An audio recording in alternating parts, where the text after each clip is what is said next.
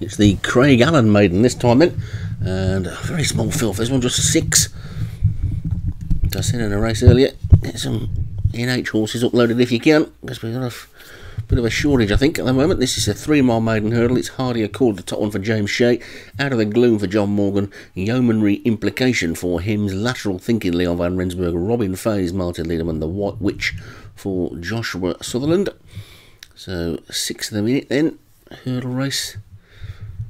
They'll get round just one unlucky trainer won't pick up any cash, and away they go. Uh, I've got a good feeling that one might be the one in the orange jacket, because that's me. I'm going to run it awfully so far this season. So the White Witch is the early leader. Robin Fays in second. And Out of the Gloom is third. The only implication is after that one. Hardy Accord and Lateral Thinking as they race down towards the first.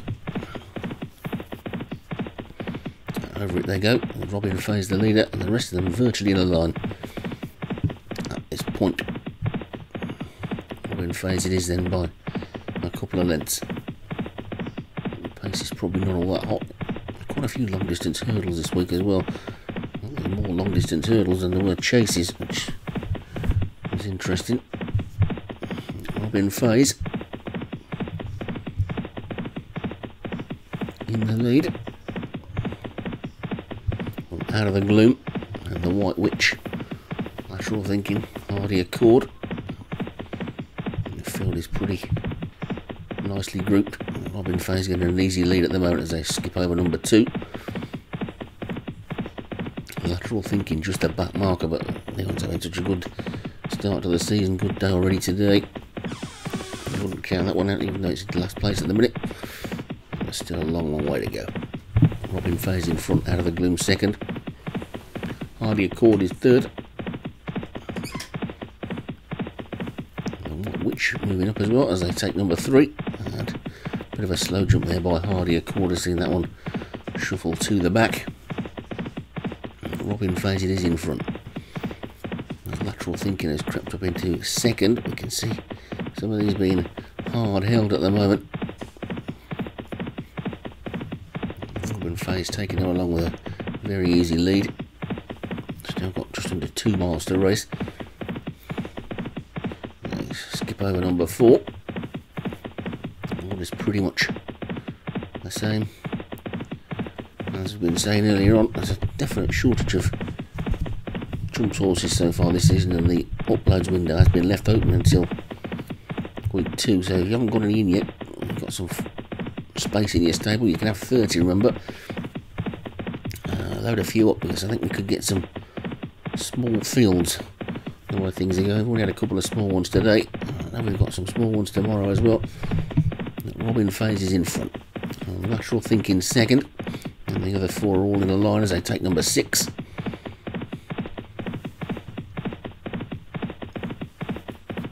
I'm surprised to see the John Morgan horse at the back is normally at the front as they pass the winning post. Then they've got another circuit to go. Racing away from us the orange jacketed Robin Fays is in the lead. Lateral thinking is second for Leon van Rensburg, and the white witch for Joshua Sutherland is third. And yeomanry implication, I think that might be Hims, and Hardy Accord, probably James Shea, and out of the gloom is John Morgan at the back. Racing downhill now then. The white witch coming up alongside Robin Fays, who's not been headed yet. Well, I think he's about to be to get towards the serious end of the race. Oh, Robin Fays was right down on his nose there and surrendered the lead and nearly surrendered his place in the race as well. The White Witch is now suddenly four clear. Out of the gloom of lateral thinking. And yeomanry implication next then. The early leader Robin Fays and Hardy Accord second of the is the back marker, so topping and tailing the race then the Greys at the moment. And the White Witch is four lengths clear. Perfect Indian file now as they take the eighth. White Witch out of the gloom. Yeomanry implication, lateral thinking, Robin Fays, and Hardy Accord. All six still in it. Robin Fay's beginning to struggle. They make their way towards the next, just a little more than five furlongs still to go. This is the fourth last. And the White Witch jumped that one well in the lead. Yeoman Implication is going pretty well though and he's now being driven up to challenge for the lead. And has poked its head in front and has quickly gone a length clear. So Yeomanry Implication then has gone for home. White Witch suddenly caught a bit flat-footed, then out of the gloom and lateral thinking. I think we can forget Robin Fays and Hardy Accord. They're fighting out fifth between themselves, but it's Yeomanry Implication over the third last in the lead. Quickly gone five or six lengths clear of the White Witch in second, then out of the gloom and lateral thinking.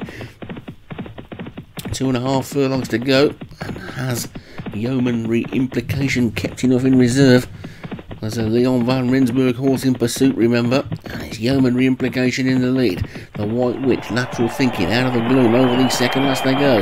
Leader got over it okay, leads down to about five lengths out of the gloom. The White Witch lateral thinking, battling away, spurring each other on in that battle for second. Down towards the final flight they come then. It's only a short run as well. The leader gets over well, gets away from it well, and they're not going to catch him, I don't think, even though lateral thinking is trying hard.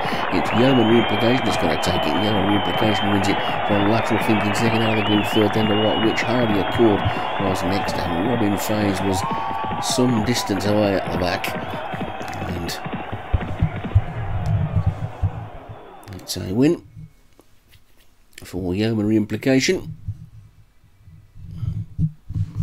from lateral thinking second.